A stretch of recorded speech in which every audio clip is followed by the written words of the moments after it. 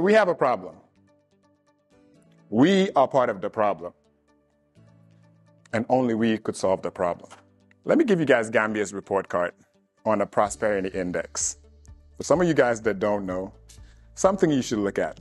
When it comes to economic quality, Gambia is ranked 150th out of 167.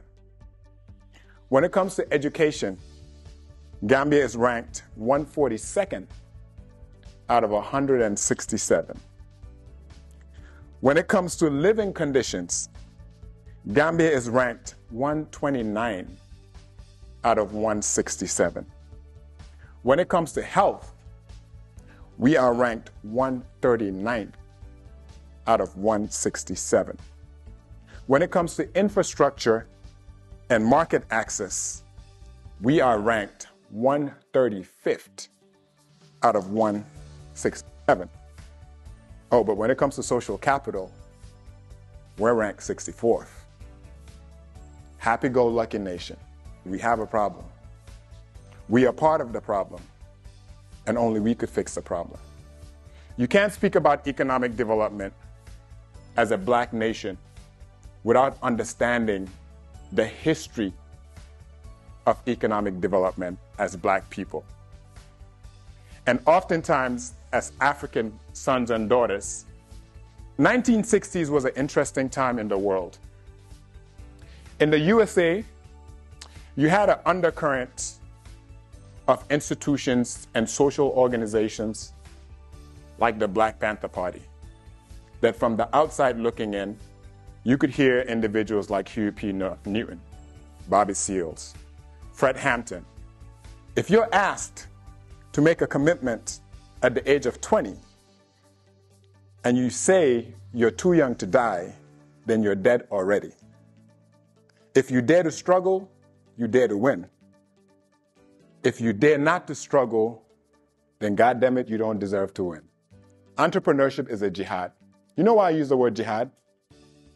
There was a core belief system that people that were fighting in the name of God or fighting in the name of an idea, that you are willing to put everything on the line because you have the responsibility to do something that you're willing to die for. And especially in Gambia, we know you have to be physically, mentally, spiritually prepared to become an entrepreneur. It's sexy though, because a lot of people could see you and think you've arrived when you're just getting started. Your ideas are nice, but your ideals as a human being matter more. You have to have a discipline strong enough to overcome the denials because they're coming.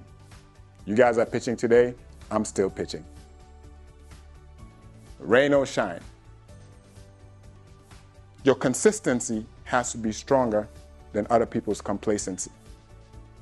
And your why has to be so much stronger than a lot of people that are going to look at you and say, why you? I think every country, four pillars entrepreneurship, LLC, land, labor, capital.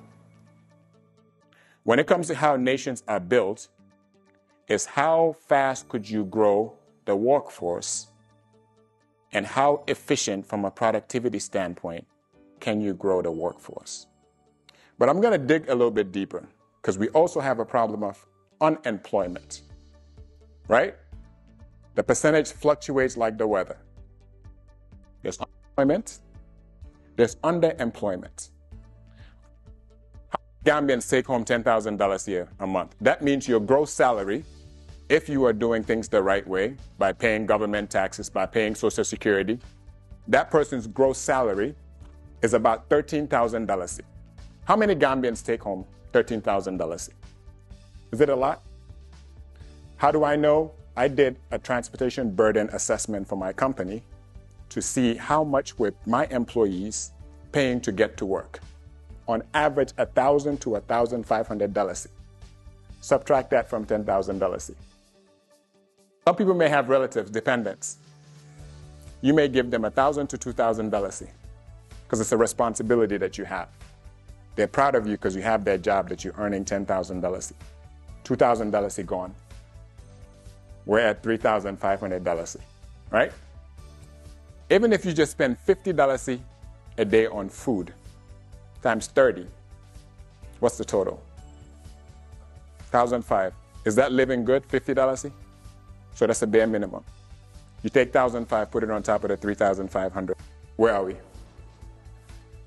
4500 So utilities, data, credit, even if you spend $1,000, add that to it, where we at? I haven't added rent. Where in Gambia now could you get decent living for $5,000 a month? Most young Gambians don't even have a contract. Most Gambians, you know why most companies like paying you cash and not a contract? Because they don't want to contribute to your retirement. They don't want to pay taxes. They know somebody at GRA who they'll rather give $20,000 a month than put in $2,000 in your retirement payment. Our system accepts it, but I'll speak on that a little bit. So underemployment rampant. And those are the ones who have a job. But the last you, that's uncomfortable. But we're going to talk about it. Being unemployable. Unemployable from a talent, skill set, capacity, discipline standpoint. We got, we have that. It's uncomfortable what I'm telling you because I see it. I used to think I've lived it. I have 75 employees. In three years, I've had over 160 employees. Majority of our young people are unemployable because we have a school system that for every 100 people that pass through our school system, only 4%, 4 out of 100 are eligible to go to university. Every entrepreneur has stories for days about no matter how much they want to help young Gambians, we are so behind as a nation, and we are so unskilled as a nation. Please travel around the coast and you'll see for yourself. Because most places, the advantage they have in their economy is they don't have a high pool of talent that are unemployable. Their literacy rate is higher, their capacity is higher, they take more initiative, their cultural setting, they care more about economic growth than social capital. Gambia cares more about social capital than economic growth. That's the reality you guys are going to face. And all of you guys are key man risk when it comes to a business. Because if I die tomorrow, my biggest fear is InnovaRx would not live. And the journey is so hard. Most people that know me know that I didn't start the journey alone. Because for every one Ismail Abaji, every one Malik Khan that you see, every Binta that you see, there's nine that this country ate up and spit out alive. Every single one. That's why I say it's a jihad. And those people leave and never come back. They have resentment that is as deep as the most venomous snake in Fajara. They see Gambia as a graveyard where they'll come back to live and die and get buried. Their sons and daughters have taken up identities that are non Gambian, non African, and Gambia is a nice place that's hot. They come, they don't understand the language. Every Korite they wear African outfits, take a picture. That's the identity of Gambia that they'll always have because Gambia is eating people that should be rolled out with rose petals and red carpet and spitting them out alive, which is why I'm going to talk about the role of our system. And that's why it's difficult, especially for us that are in the USA. It's not nice to brag about, okay, yeah, sure, I had a job that I was making $10,000 every month, every two weeks. To this day, every day in Gambia that I'm here, every two weeks in Gambia, I'm missing out on 5,000 US dollars. I don't want to brag about that. But that's why no matter people how big your idea is, who you are is going to determine is if this country is worth sacrificing for. Because I cannot do this when I'm 45. I cannot do this when I'm 50. I would not make it. So most people ask me, or they even think it's easy, but he knows He knows the toll. He knows the sacrifice. And all of you guys, 10 years from now, maybe about 5 or 10% of you guys will still be in business. It'll have nothing to do with about your ideas.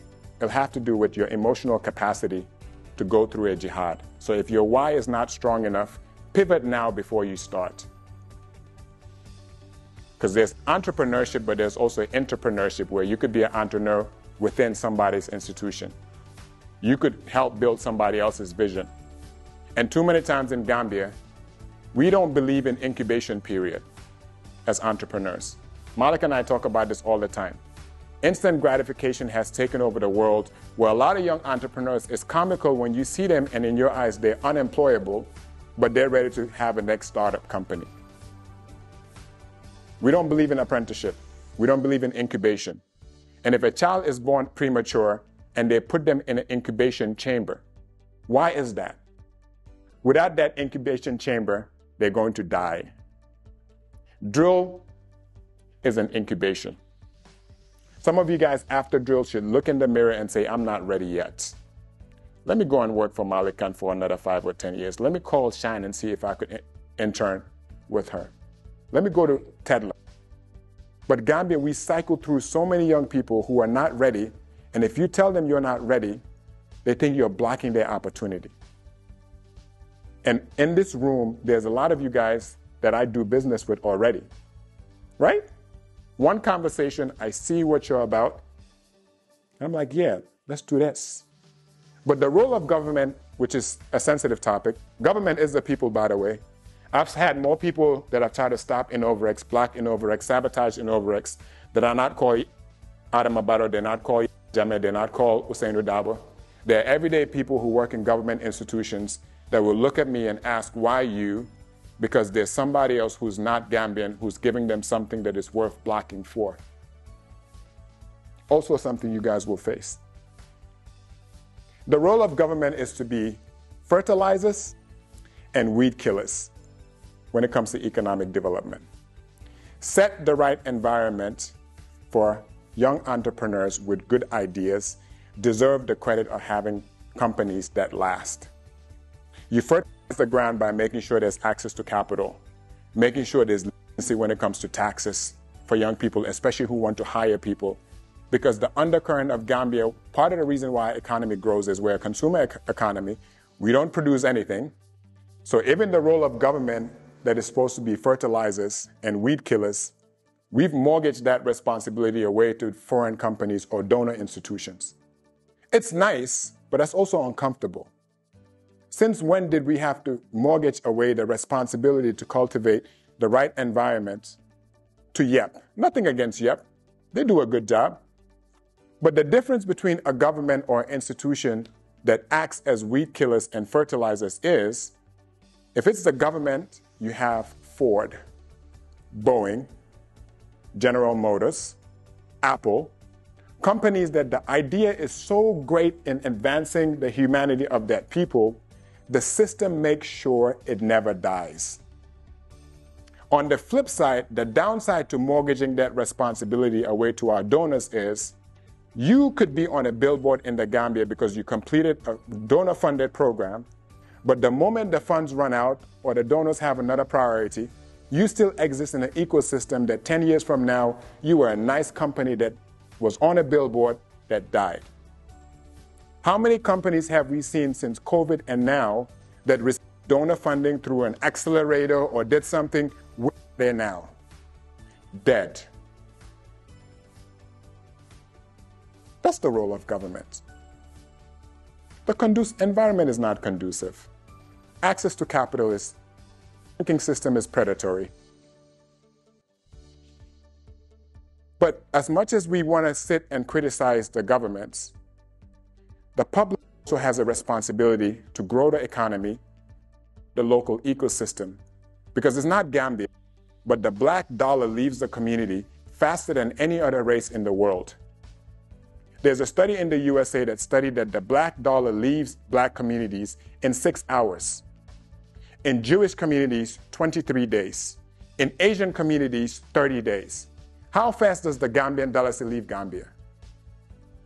You wake up, you buy bread and butter at a store, is the store Gambian?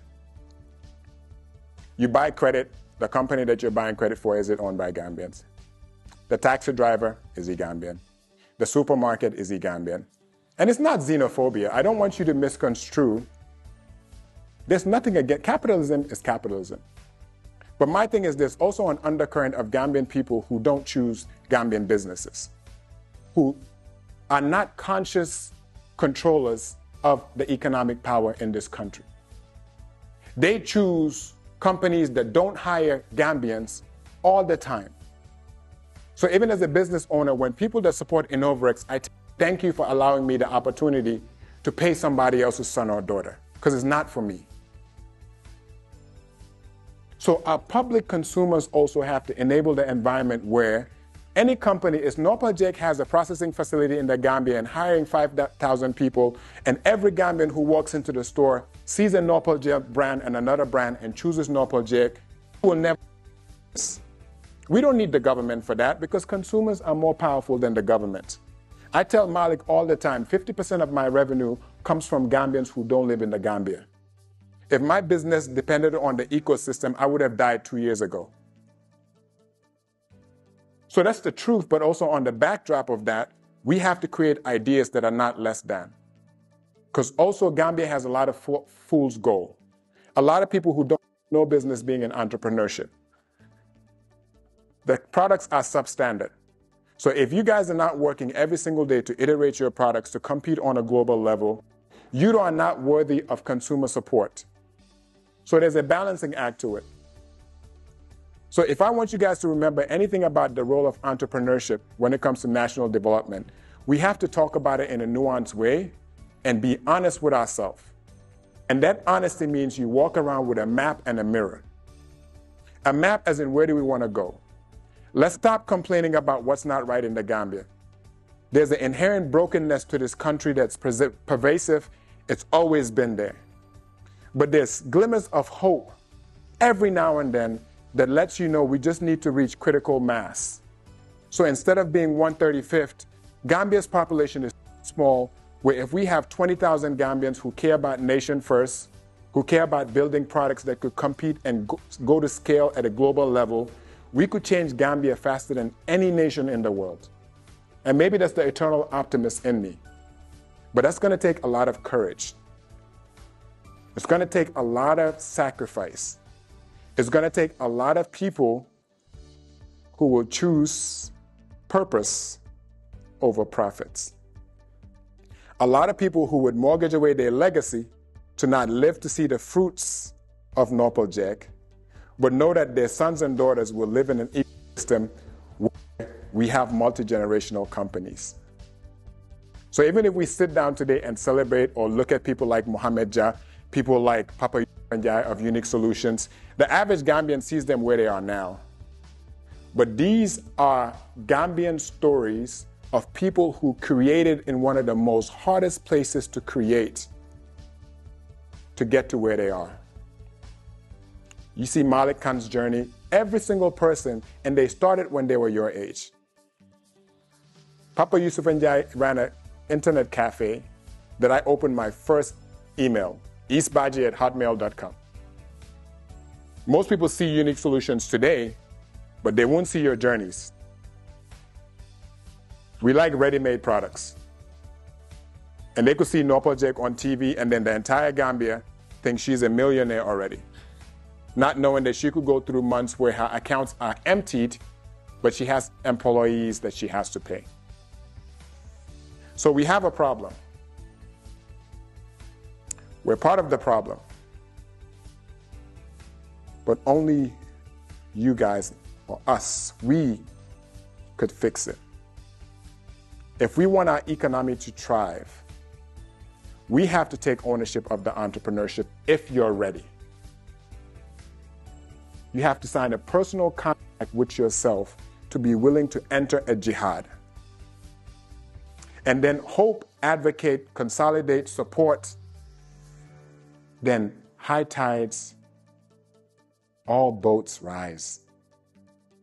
I have a philosophy at InnovaRx that I urge you guys to use.